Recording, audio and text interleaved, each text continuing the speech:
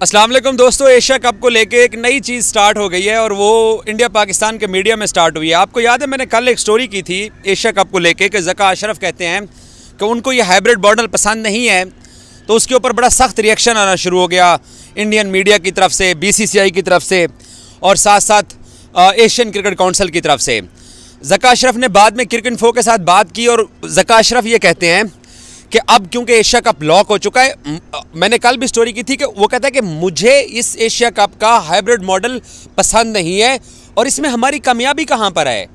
तो ये खबर जब पाकिस्तान के मीडिया के अंदर चली जका अशरफ की इस्लामाबाद में प्रेस कॉन्फ्रेंस हुई जब तो ये खबर जब चली तो उस इस खबर के बाद क्या होता है कि आ, इंडियन मीडिया खबरें लगाना शुरू कर देता है कि जी पाकिस्तान हाइब्रिड मॉडल के ऊपर एतराज़ कर रहा है। जका अशरफ ने अपना पर्सनल ओपिनियन दिया।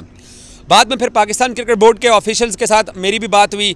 मैंने भी इस पर स्टोरी की तो उन्होंने हमें भी आ, ये क्लियर करने की कोशिश किया कि जी जका अशरफ की ये ज़ाती सोच हो सकती है कि उनको हाइब्रिड मॉडल पसंद नहीं है।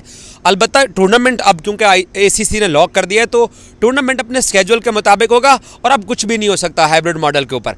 लेकिन दूसरी तरफ़ एनडीटीवी इंडियन मीडिया और इंडिया के बहुत सारे अखबार टाइम्स ऑफ़ इंडिया वगैरह ने इन्होंने एशियन क्रिकेट काउंसिल और बीसीसीआई के जो लोग हैं, उनके ज़रिए एक खबर पब्लिश कर दी है पाकिस्तान क्रिकेट बोर्ड पर प्रेशर बनाने के लिए। नई मैनेजमेंट अभी तक इकतदार में नहीं आई है तो उनके ऊपर प्रेशर डालने के लिए एक स्टोरी चलवा दी कि पाकिस्तान क्रिकेट बोर्ड की जो एशिया कप को लेकर जका अशरफ की रिजर्वेशन है, हम उनको रिजेक्ट करते हैं और एशिया कप जो है ना अब अनाउंस हो गया। अब इसके अंदर फर्दर कुछ भी नहीं हो सकता है और पाकिस्तान को अब एशिया कप जो है ना उसको इसी तरीके से ही कंटिन्यू करना पड़ेगा।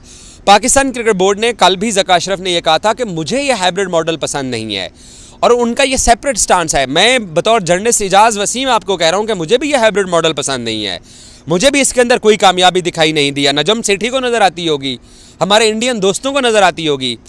नजम सेठी को ये कामयाबी नज़र आती है कि चार मैचेस मिल गए। हमारे इंडियन दोस्तों को ये कामयाबी नज़र आती है कि हमने जो डे वन से कहा था कि हम नहीं जाएँगे तो हम नहीं जा रहे। हम तो अपनी जगह खड़े हैं और हम जीत गए। ठीक है भाई, आप जीत गए, नजम सेठी जीत गया। लेकिन ये आज़ाद ओपिनियन पाकिस्तान क्रिकेट बोर्ड के नए आने वाले चेयरमैन की है कि उनको हाइब्रिड मॉडल पसंद नहीं था। और मैं बहुत सारे दोस्तों के कमेंट्स पढ़ता हूँ।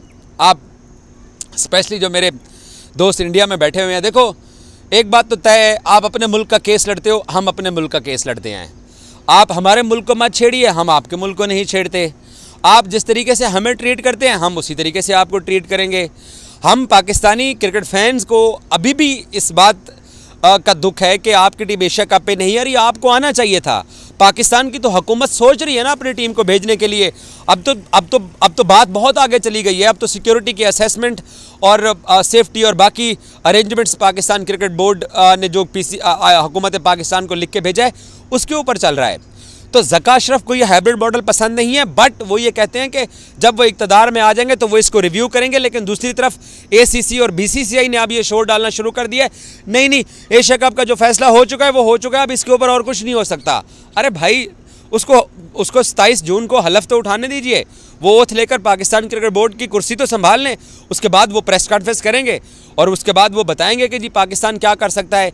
अगर तो वो इसी हाइब्रिड मॉडल के साथ आगे चले गए तो ठीक है, अगर उनको बीच में कोई एतराज़ हुआ या वो फाइनल पाकिस्तान में वापस लाने की एफर्ट करेंगे तो ये हमारा हक है, हम मेज़बान हैं। ज़्यादा हिस्सा टूर्नामेंट का, एशिया कप का श्रीलंका जा रहा है तो जितना हिस्सा पाकिस्तान के पास है, पाकिस्तान उसको सिक्योर करके उसके अंदर एक आधा मैच अगर और ऐड करवाने की कोशिश करता है तो इसमें कबाहत क्या है, इसमें बुराई क्या है?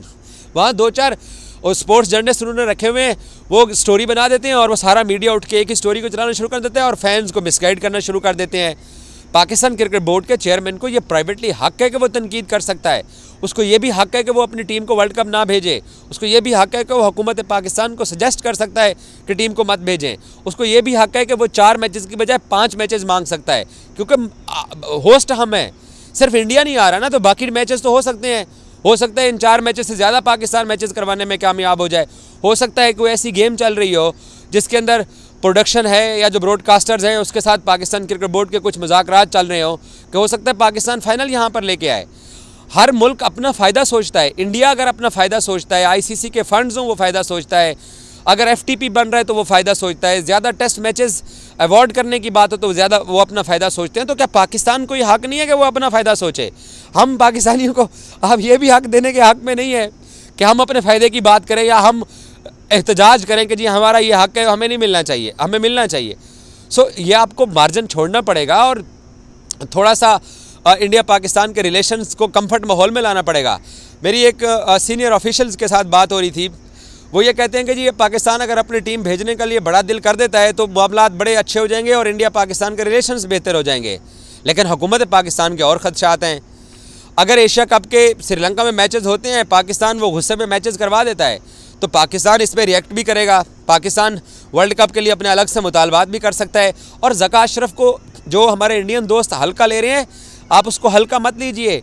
ये एशिया कप में इंडिया का ना आना और पाकिस्तानी टीम के लिए इंडिया जाने का रास्ता हमवार करने के पीछे जो नजम सिटी इंतज़ामिया की सुस्त रवि थी, उसका प्रेशर बिल्ड हुआ है। तो जक्का अशरफ को लाने का मैदान में फैसला किया गया है। और पीपल्स पार्टी ने कहा है कि हमारे कुछ राइट्स हैं। और पीपल्स पार्टी का वज़ीर खारजा, पीपल्स पार्टी का पाकिस्तान का फॉरन मिनिस्टर बिलावल भुट्टू, वो गोवा से होकर आया। और जयशंकर साहब ने जो लैंग्वेज इस्तेमाल की है, वो लैंग्वेज भी पाकिस्तानियों को पता है, वो पीपल्स पार्टी को पता थी। इसलिए पीपल्स पार्टी ने उसके ऊपर स्टैंड ले लिया और वो अपना चेयरमैन लेके आ रहे हैं। सो ये तमाम जो चीज़ें चल रही हैं, ये वो सारे राइट्स हैं जिनको एक्सरसाइज किया जाता है, जिनके ऊपर बात की जाती है। बहरहाल अब एशिया कप को लेके एसीसी के कुछ मसाइल सामने आए हैं। उन्होंने कुछ खुद से चीज़ों को एज्यूम करके पाकिस्तान के ऊपर एक और बोझ डालने की कोशिश की है, लेकिन पाकिस्तान क्रिकेट बोर्ड के चेयरमैन सताईस जून को हलफ उठाएँगे और हलफ उठाने के बाद वो फिर इन तमाम चीज़ों का जवाब देंगे, जो कि उनकी स्टेटमेंट पहली आई कि मुझे ये हाइब्रिड मॉडल पसंद नहीं है। उसके ऊपर रिएक्शन जो आया कि नहीं नहीं, अब ये हो गया है लॉक हो गया यही जारी रहेगा। जकाशरफ भी ये कहते हैं कि मैं इसको कोई ख़राब नहीं करना चाह रहा बट ये मेरा हक है और हम अपना फ़ायदे का सोच सकते हैं। और पाकिस्तान क्रिकेट बोर्ड अभी तक अपने फ़ायदे का सोच रहा है। इस वक्त जब मैं आपसे बात कर रहा हूँ, किसी बंदे को पता है इंडिया पाकिस्तान मैच की डेट क्या होगी? मैं जर्नलिस्ट हूँ, मुझे भी नहीं पता।